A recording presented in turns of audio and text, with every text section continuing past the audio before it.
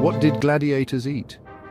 Roman author Pliny the Elder reported that gladiators were often called hordearii or barley eaters and consumed a tonic of ashes after combat. A study recently published in the scientific journal PLOS ONE confirmed that gladiators really did eat mostly plants, especially barley and wheat, and may have indeed consumed ashes.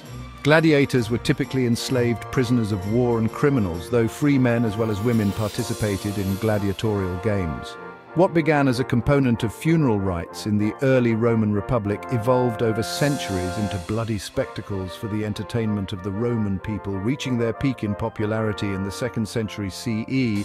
Researchers from the Institute of Forensic Medicine at the University of Bern and the Medical University of Vienna aimed to investigate how the diet of gladiators compared to the rest of the population.